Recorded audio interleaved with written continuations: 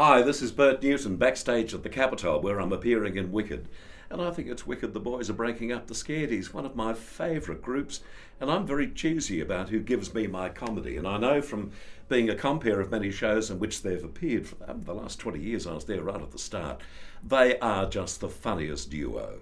And I hope that they have great success in whatever they do afterwards, but I don't want them to go. But they've said, enough already.